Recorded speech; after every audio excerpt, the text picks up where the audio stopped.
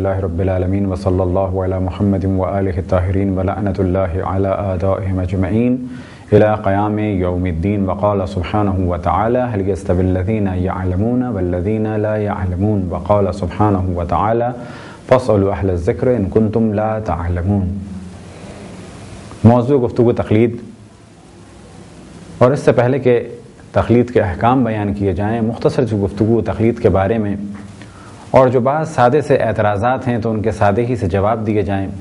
अलबत् कोशिश की जाएगी कि बहस सादी और आसान और मुख्तसर हो। लेकिन अगर खुदावन तबारक व ताली ने कभी तोफ़ी अता फ़रमाई तो इन तखलीत के मौजू पर तफसील से कभी इन गुफ्तु होगी।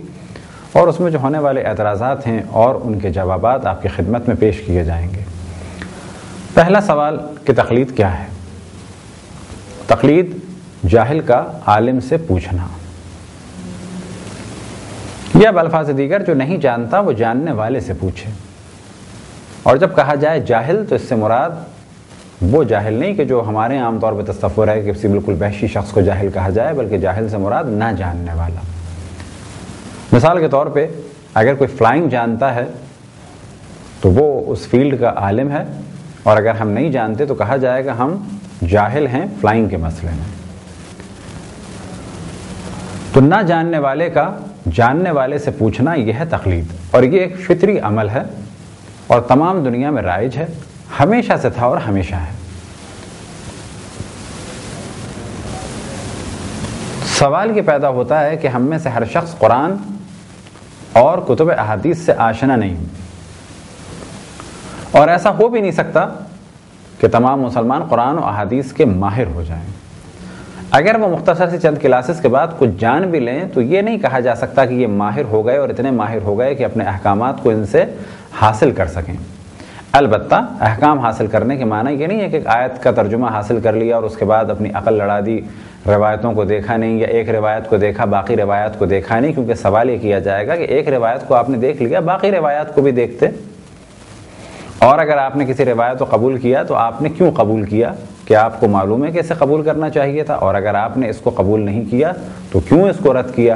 क्या आपके पास इतना इल्म है कि आप ये कह सकें कि हमने इस रिवायत को इस वजह से कबूल किया और इस वजह से रद्द कर दिया? मुमकिन है किसी के जहन में सवाल आए कि क्यों किसी हदीस को कबूल किया जाए या क्यों किसी हदीस को रद्द किया जाए? तो इसका जवाब यह है, बहुत इख्तसार के साथ, वो ये कि आयमासलाम के कौल में तो इख्तलाफ नहीं, लेकिन जो अकवाल हदीस की सूरत में हम तक पहुँचे हैं वो दर हकीकत बाज़ अल्फाज और मफहूम के साथ हैं, बाज़ फ़कत अल्फाज हैं, लेकिन मफहम बदल चुका है और बाज़ में फ़कत मफहूम है और अल्फाज उसमें मौजूद नहीं। मिसाल के तौर पे अगर एक वाक़ हो तो उसे या अगर किसी का जुमला है तो कुछ लोग उसे नकल करेंगे अल्फाज के साथ और साथ में उसी मफहम के साथ।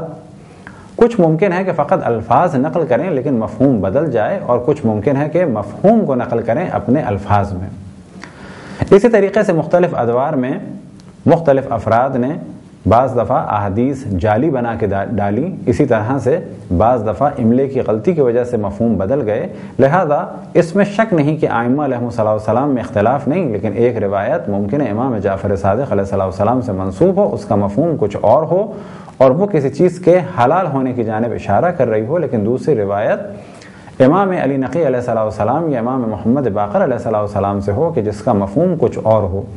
अब इसमें शक नहीं कि इमाम में आपस में कोई इख्तलाफ नहीं, लेकिन जो रिवायतें हम तक पहुँची हैं, उनमें इख्तलाफ है। इनमें से कौन सी रिवायत को कबूल किया जाए, कौन सी रिवायत को कबूल नहीं किया जाए, और अगर एक रिवायत थी और उस पर गैबत कुबरा के इब्तदाई दौर से ले कर अब तक अमल नहीं हुआ तो इसके माना यह है कि रिवायत तो थी, लेकिन अमल के काबिल नहीं थी। क्या मुराद के अमल के काबिल नहीं थी?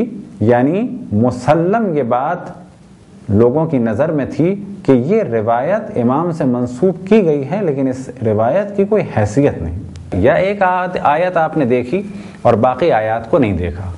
तो मालूम यह हुआ कि बहुत सारे मसाइल हैं और हकीकत यह है कि फतवा देना खुद एक मुश्किल काम है अलबत् सही फतवा।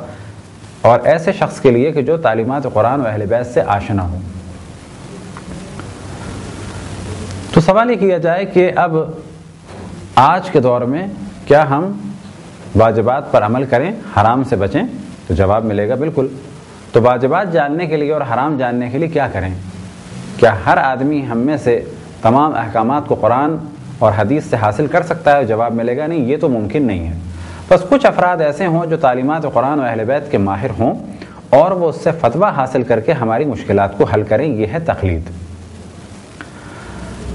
अगले मरहले में इसी गुफ्तु को एक और मिसाल के साथ पेश करते हैं कि फ़र्ज़ करें, अभी अभी गैबत सगरा ख़त्म हुई और गैबत कुबरा शुरू हो गई। क्या हम पर लाजम है कोई काम करें?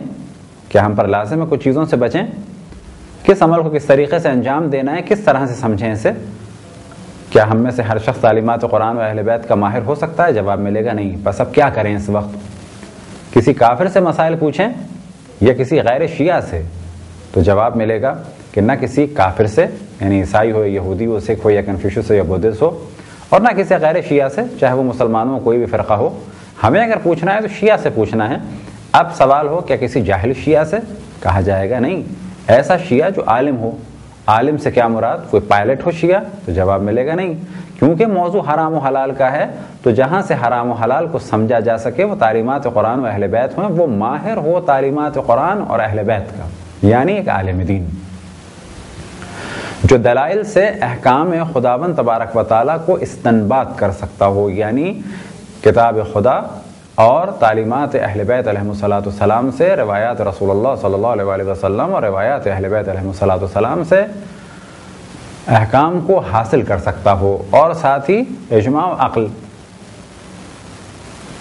तो क्या हर शख्स काम कर सकता है? जवाब मिलेगा नहीं। अब अगर बहुत सारे ऐसे अफराद हों तो इनमें से किससे पूछें? तो जवाब मिलेगा, अकली कहती है, जो सबसे ज़्यादा इल्म रखता हो उससे पूछा जाए। अगर ये फासिक हो, उससे पूछें, ये आदिल हो तो कहा कि जाएगा, आदिल हो। क्योंकि फासिक जब अल्लाह के हुक्म पर अमल ही नहीं करता तो उसकी बात की हैसियत क्या है? मुमकिन है वो फतवा देने में भी कोई गलत बयानी करे, या दीन के मामले में कोई हराम काम करे।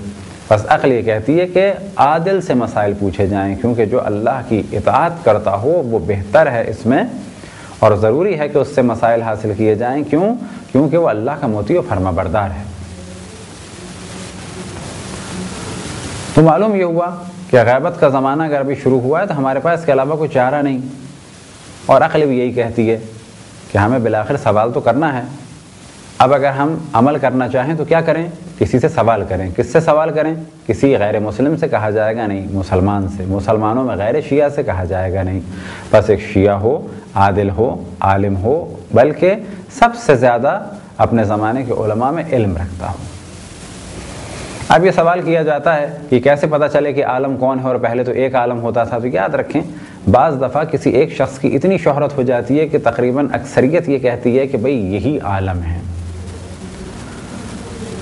मिसाल के तौर पे आगा बुरजर्दी का दौर, या आगा हकीम का दौर। बाद में ऐसा नहीं था। अलबत्ता खुद आगा हकीम के दौर में भी बाज़ मुखलत थे आगा हुई के, और बाज़ मुखलत थे आगा अहमद खानसारी के। हमारे इंडिया पाकिस्तान में उनकी ज़्यादा शोहरत थी। तो हम ये समझते थे कि फ़कत वो एक ही थे। जबकि हर दौर में अल्हम्दुलिल्लाह हमारे यहाँ बहुत सारे मुश्तहद और मराजे रहे हैं। ये जहन में आना कि जी पहले तो एक ही होते थे, ऐसा नहीं है। या ये जहन में आना कि एक ही होने चाहिए, ऐसा भी ज़रूरी नहीं है। शुक्र करना चाहिए खुदावन तबारक वाली का कि हमारे यहाँ इल्म इतना ज़्यादा है कि बहुत सारे ऐसे अफराद हैं जो साहिब फतवा हैं, फतवा दे सकते हैं, मुश्तहद हैं। और बहुत सारे ऐसे अफराद हैं जो मशहूर हैं आलमियत के उनवान से। आलमियत के क्या माना है? आलमियत के माना है जो अपने ज़माने में सबसे ज़्यादा इल्म रखता हो। किस शोबे में? उसूल और फ़िक में, यानी हुक्म खुदा को हासिल करने में सबसे ज़्यादा महारत रखता हो। कैसे पता चलेगा इसका? तो इसके पता चलने की जो रविश है वो ये कि या तो इंसान को खुद यकीन हो, या दो आदिल गवाहों से गवाही ले ले कि क्या आपकी नज़र में ये सबसे ज़्यादा इल्म रखते हैं। बेशर्त ये कि दो आदिल मर्द गवाही इनकी आलमियत के बरखिलाफ़ न दें। ये ना कहें कि हाँ ये आलम नहीं है। और दो ने कह दिया, आप यकीन कर लें। या ये कि बहुत सारे लोगों के दरमियान एक शोहरत हो गई, भाई, इस वक्त तो आलम ही है। सवाल किया जाए कि फिजिक्स या केमिस्ट्री के बारे में अगर मुख्तलिफ़ प्रोफेसर से पूछा जाए कि आपके ख्याल में इन चार प्रोफेसर में से कौन ज़्यादा इल्म रखता है? मिसाल के तौर पर अगर सवाल किया जाए कि ये जो चंद मशहूर प्रोफेसर हैं, इनके दरमियान कौन ज़्यादा इल्म रखता है आपके ख्याल में? आइंस्टाइन या अब्दुलसलाम या अब्दुल कदीर, या स्टीफन हाउकिंग। तो मुमकिन है कुछ लोग कहें अब्दुल सलाम, कुछ लोग कहें स्टीफन हाउकिंग, कुछ लोग कहें आइंस्टाइन, कुछ लोग कहें अब्दुल कदीर। तो कहा जाएगा कि ये आलम हैं चंद लोगों की नज़र में। अब ये कौन डिक्लेयर करेगा कि कौन आलम है? कहा जाएगा वो जो इस फ़ील्ड का खुद माहिर हो। फिजिक्स की आलमियत को कोई नाइन्थ क्लास पास करके नहीं कह सकता कि मेरी नज़र में अब्दुल कदीर या अब्दुल सलाम या आइंस्टाइन जो है वो आलम है कहा जाएगा ऐसा आदमी नहीं जो नाइन्थ और टेंथ पढ़ा हुआ हो या फ़र्स्ट ईयर सेकेंड ईयर या बीएससी पढ़ा हुआ या एमएससी कहा जाएगा ऐसा हो डॉक्टरेट किया हुआ हो, उसके थीसिस चलते हों, मुख्तलिफ़ कॉन्फ्रेंस में खिदमत जाके अपनी इलमी खदमात अंजाम देता हो, एक बुलंद दर्जे पे फ़ाइज़ हो, उसकी बात में कोई वज़न हो, एक महक़ हो, एक स्कॉलर हो तो कहा जाएगा कि हाँ ये कह रहा है किसी को कि ये सबसे ज़्यादा इलम रखता है तो चलो वाकई ये है इस मकाम का जो समझ सके कि फ़िज़िक्स क्या है और फिज़िक्स में सबसे ज़्यादा माहिर कौन है। बिल्कुल ऐसे ही हर दौर में चंद अफराद मुश्तदीन ऐसे होते हैं कि जो ये गवाही देते हैं कि हमारी नज़र में इस पर सबसे ज़्यादा इल्म ये रखते हैं। मिसाल के तौर पर कुछ की नज़र में कोई आलम और कुछ की नज़र में कोई दूसरा शख्स आलम। तो यहाँ तक गुफ्तु हुई कि गैबत के ज़माने में बिलाखिर अमल तो करना है। क्या हर शख्स के लिए मुमकिन है कि हर फ़ील्ड का माहिर हो जाए? तो याद रखें, इल्म ज़्यादा है और इंसान का वक्त कम है। और अकली हुक्म देती है कि अगर मेडिकल का मसला है किसी डॉक्टर से पूछो, कंस्ट्रक्शन का मसला है किसी सिविल इंजीनियर से पूछो कंप्यूटर का मसला है तो किसी कंप्यूटर इंजीनियर से पूछो। हार्डवेयर का मसला है तो कंप्यूटर हार्डवेयर के माहिर से पूछो। और अगर सॉफ्टवेयर का मसला है तो कंप्यूटर सॉफ्टवेयर के इंजीनियर से पूछो। ऐसा नहीं हो सकता कि हम ये कहें कि हम हर फ़ील्ड में महारत हासिल करेंगे और आगे बढ़ेंगे। क्योंकि अगर ऐसा तस्वुर कर भी लिया जाए तो कुछ ही दिन में उलूम इंसानी बिल्कुल ख़त्म होकर रह जाएँगे, क्योंकि हर शख्स हर इल्म को हासिल नहीं कर सकता। बिल्कुल ऐसे ही हर शख्स इल्म दीन का भी माहिर नहीं हो सकता। अब वो अपने मसाइल हल करने के लिए क्या करे? तो कहा जाएगा, वो एक ऐसे शख्स से कि जो तालीमत कुरान व अहल बैत का आशना हो, हुक्म खुदावन तबारक व ताली को दलाइल के साथ हासिल कर सके, इसकी तकलीद की जाए।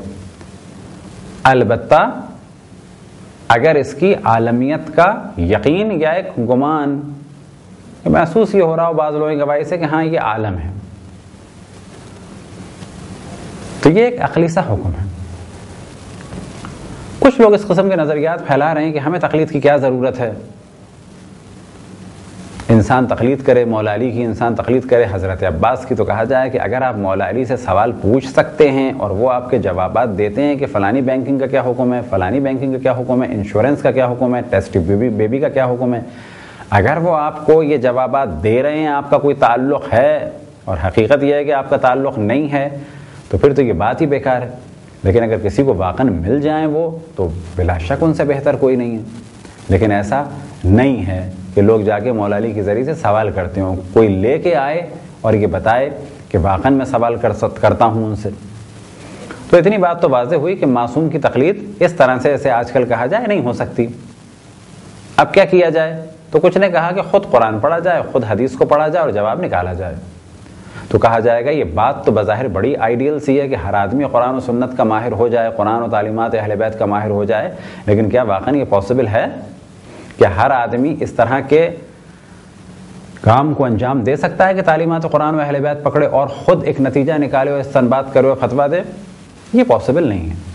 लिहाजा एक दो ऐसे नौजवान कि जो पैरोकार थे या तरफदार थे, एक ऐसे शख्स के जो कराची में इस कस्म के नज़रियात फैला रहा है, मुख्तलिफ़ किताबों के ज़रिए अलबत् ख़ुद वो अरबी का भी माहिर नहीं, फ़ारसी का भी माहिर नहीं। कुरान को भी समझता है, तर्जुमे के ज़रिए, अहादीस को समझता है, उन किताबों के ज़रिए जो अब तक तर्जुमा हुई हैं और वो किताबें जो तर्जुमा नहीं हुई, उनको नहीं पढ़ सकता। इस कस्म के तमाम अफराद दर हकीकत दुश्मन के आलाकार हैं। दुश्मन क्यों इन्हें इस्तेमाल कर रहा है? इन अगर मौका मिला तो इसको डिस्कस किया जाएगा। तो हमने नौजवानों से यही कहा कि आप अगर कुछ करना चाहें तो क्या करते हैं कि आप कुरान और हदीस के माहिर हैं तो कहने लगे नहीं। तो हमने कहा, अगर आपको मसला पेश आता है तो आप क्या करते हैं? कहने लगे, हम उनसे पूछते हैं। तो हमने कहा, यही तकलीद है जो आप उनसे पूछ रहे हैं। वो जो आपको अपनी राय दे रहे हैं दर हकीकत फतवा दे रहे हैं। फ़र्क इतना है कि हम ये कहते हैं कि ऐसे से हराम हलाल पूछा जाए कि जिसके बारे में एक शोहरत हो कि शियों में सबसे ज़्यादा इल्म इसके पास है और आप ऐसे से फतवा ले रहे हैं कि जिसके बारे में यकीन है कि जाहिल तरीन लोगों में से है।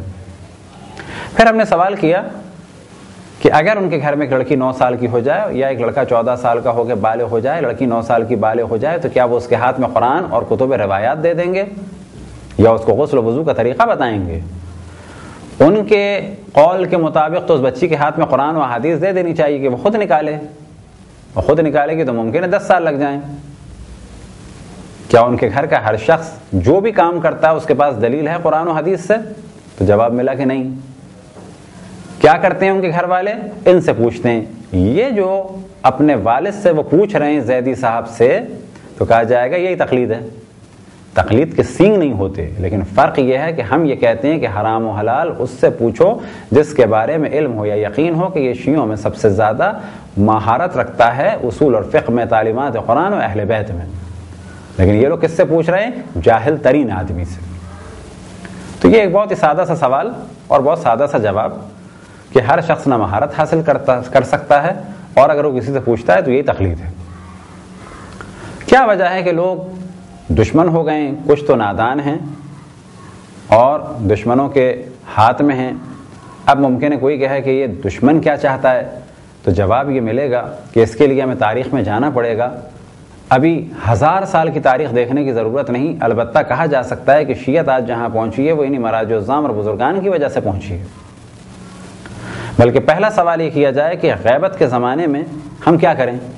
इन्हीं अफराज सवाल किया जाए कि हम क्या करें? नमाज़ पढ़ें कि ना पढ़ें? इबादत करें कि ना करें? कैसे समझें? मुमकिन वो जवाब दें कि जी पूछने की ज़रूरत नहीं तो इसका मतलब है क्या करें? छोड़ दें सब कुछ। और अगर पूछने की ज़रूरत है तो किससे पूछें? किसी आलिम दीन से पूछें तो जवाब मिलेगा हाँ। ज़्यादा इलम रखता हो, जवाब मिलेगा हाँ। मुमकिन है कोई कहे कि जी, हम भी मेहनत करके ये सब कुछ जान सकते हैं। जब आप मेहनत करके जान जाएँगे तो आपको आलिम दीन कहा जाएगा।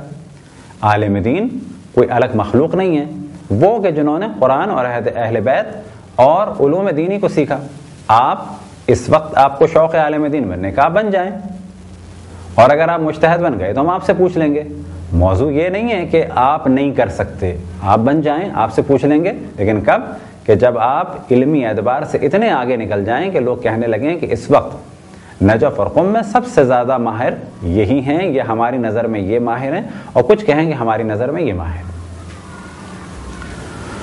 तो ये कहना, क्या मुश्तहदीन की इजारादारी या उलमा की इजारादारी या नहीं। आप बन जाएँ आलम दीन आपका बच्चा बन जाए आलम दीन लेकिन आपकी तकरीर हम जब करेंगे जब आपकी इलमियत का यकीन हो जाएगा। तो वजह क्या है कि दुश्मन मुखालिफ हैं? तो पहले मरहले में तवज्जो रहे और मिसाल दी जाए ईरान की कि ईरान में अब तक यूरोप और अमेरिका वाले कब्ज़ा नहीं कर पाए। ब्रिटिशर ने बहुत सारी जगहों को अपना ग़ुलाम बनाया, बहुत सारे ममालिक को अपनी कॉलोनी बनाया, लेकिन वो ईरान में नहीं कर सके। वजह क्या है कि वहाँ पर मरजैत थी, हमारे बुजुर्गान वहाँ पर मौजूद थे, उन्होंने काम नहीं होने दिया। मिसाल के तौर पर नासिरुद्दीन शाह काचार ने पाँच हज़ार पाउंड के एवज़ एक माहिदा किया ब्रिटिशर से। मेजर रग्गी के साथ ये माहिदा हुआ और माहिदा ये था कि जितना भी ईरान का तंबाकू है, वो ब्रिटिशर ख़रीदेंगे और वही इसको बेचेंगे, वही इसको रिफ़ाइन करेंगे। ईरान में भी, ईरान से बाहर भी। नासरुद्दीन शाह काचार ने इस मामले पर साइन कर दिया। आयतुल्लाज़मा मिर्ज़ा हसन शराजी अब्बल रजवान ताली ने फतवा सादिर किया और इस काम को हराम करार दिया और इशाद फरमाया अपने फतवे में, अलयम इस्तेमाल तम्बाकू व तूतून बेअ नहविनकान फ़ी हुक्म मुहारबत इमाम ज़मान। आज से इस्तेमाल करना तम्बाकू का ऐसा है जैसे कि इमाम ज़मान सलाम से जंग। जैसे ये फतवा सादिर हुआ तो लोगों ने तम्बाकू की खरीद फरोख छोड़ दी। यहाँ तक कि नासरुद्दीन शाह काचार के महल में जब उसने सुबह को सवाल किया अपने खादमों से और कहा कि हुक्के लेके आओ तो जवाब मिला कि हुक्के तोड़ दिए गए तो उसने पूछा, किसके हुक्म से? तो जवाब मिला, आपकी वालदा और आपकी जौजा के हुक्म से। माँ से तो वो ना पूछ सका, अपनी बीवी से पूछा, किसके हुक्म से हुक्के तोड़े? तो बीवी ने जवाब दिया, उसके हुक्म से कि जिसने मुझे तुम्हारे लिए हलाल करार दिया। क्या मुराद? हलाल करार देने वाला तो खुदा है। यहाँ मुराद यह है कि हमारे यहाँ गैबत के ज़माने में मर्जे का हुक्म ऐसा है जैसे इमाम ज़मान का हुक्म और इमाम ज़मान का हुक्म जैसे कि रसूल अल्लाह का हुक्म और रसूल अल्लाह का हुक्म ऐसे जैसे कि अल्लाह सुबहाना हुआ ताला का हुक्म। नासरुद्दीन शाह काचार को इस बात का एहसास हो गया कि आयतुल्लाज़मा मिर्ज़ा हसन शराजी अव्वल का फतवा उसके महल तक आ गया और अब महल के अफराद भी उसका हुक्म मानने के लिए तैयार नहीं हैं, बल्कि वो हज़रत आयतुल्लाज़मा सैयद मिर्ज़ा हसन शराजी अव्वल का हुक्म मानने के लिए तैयार है। जब ये फतवा सादिर हुआ तो उस दौरान फारसी की बाइबल तर्जुमा हो चुकी थी। इस कंपनी के साथ साथ तंबाकू की खरीदो फरोख्त के साथ साथ जो ब्रिटिशर की खास रविश है कि वो अपने नंस और पादरियों को लेके आते हैं और ईसाई तबलीग शुरू कर देते हैं। मुख्तलिफ़ जगह तबलीगात का काम शुरू हो गया था। मिर्ज़ा हसन शराजी अब्बल ने इन तमाम चीज़ों को ख़त्म करके रख दिया। अब ब्रिटिशर समझ गए कि जहाँ भी हम जो कुछ करेंगे तो मराजे का फतवा आ जाएगा और हमारे लिए मुश्किल होगी। ये वाक़ है तकरीबन 1897 का। आयतुल्लाज़मा मिर्ज़ा हसन शराजी अब्बल के शागिर्द मिर्ज़ा मोहम्मद आयतुल्लाज़मा मिर्ज़ा मोहम्मद तकी शिराजी, जो उनके शागिर्द थे, पहले को कहा जाता है शिराजी अव्वल और दूसरे को कहा जाता है शिराजी दोम करबला में थे आयतुल्लाज़मा मिर्ज़ा मोहम्मद तकी शिराजी, यानी शिराजी दोम अंग्रेज़ों ने जब काफ़ी हद तक इराक़ पर कब्ज़ा कर लिया तो इनका फतवा सबब बना कि अंग्रेज़ों को इराक़ से निकलना पड़ा 1920 में। इन्होंने पहले एक फतवा दिया, तमाम शिया कबाइल और अशायर को तैयार किया कि असलहा तैयार रखो। उसके बाद एक टेलीग्राम ब्रिटिशर को किया। इंग्लैंड टेलीग्राम भेजा कि अपनी फ़ौजों को यहाँ से निकालो और तसलुत को ख़त्म करो। और जब उन्होंने ये नहीं माना तो फिर इन्होंने एक हुक्म दिया जहाद का कि जिसके बाद ब्रिटिशर को निकलना पड़ा। लिहाजा 1920 में इराक़ से अंग्रेज़ निकले। अलबत्ता जाते जाते एक ख़ानदान को, यानी फैसल ख़ानदान को इराक़ पर मुसलत कर गए और इस तसलुत में अरब ममालिक का भी दखल था, खसूस सऊदी अरब का और ब्रिटिशर का दखल था। वहाँ से यह जुल्म का सिलसिला शुरू हुआ, तकरीबन अस्सी साल चला। फिर आप इनकलाब ईरान को देखें, कि जमाम खुमैनी की क़्यादत में आया, इसी तरह से इनकलाब के बाद देखें, जैसे आयतुल्ला खामनाई जिस तरह से दुश्मन के मुकाबले में डटे हुए हैं या इराक़ को देखें तो वहाँ आयतुल्ला सिस्तानी नज़र आएँगे। तो इतनी बात वाज हुई कि आज जहाँ जहाँ तशैयों में एक उरूज नज़र आ रहा है तो उसके पीछे एक हस्ती मौजूद है और वो कौन है? एक मुश्तहद। इसी तरह से लुबनान की मिसाल कि वहाँ पर बुजुर्गान मुश्तहदीन मौजूद हैं, या ये कि दीगर मुश्तहदीन की इजाज़त से वहाँ काम हो रहा है। तो ये वो चीज़ है कि जिसे आप ना जानते हों, लेकिन ब्रिटिशर जानते हैं कि हमें किन की वजह से प्रॉब्लम हुए। आज अमेरिका जानता है कि हम ईरान की वजह से क्या मुश्किल हैं। और ये कौन लोग हैं जो हमारे मुकाबले में खड़े हैं? तो इनको मालूम है कि ये गैबत इमाम ज़मान सलाम के दौर में मुजतहदीन हैं कि जिनको नायब इमाम कहा जाता है, जिनकी शिया तकलीद करते हैं। लिहाजा इनकी ताकत को ख़त्म करने के लिए हमारे यहाँ कुछ लोग ख़रीदे गए। कि अफसोस के साथ कहा जा सकता है कि जो मेंबर इमाम हुसैन पर बैठ कर महाराजे की तोहन करें या ये कहें कि हम इजतहाद को नहीं मानते, हमें उलमा नहीं चाहिए, हमें मराजे नहीं चाहिए। तो ये एक मुख्तसर सी गुफ्तु थी तकलीद के बारे में। ज़मन और जो जो मौजूद आते चले जाएँगे, वो मुख्तलिफ़ मसाइल के ज़मीन में इन बयान होते रहेंगे। वसल्ला महमद व ताहरीन।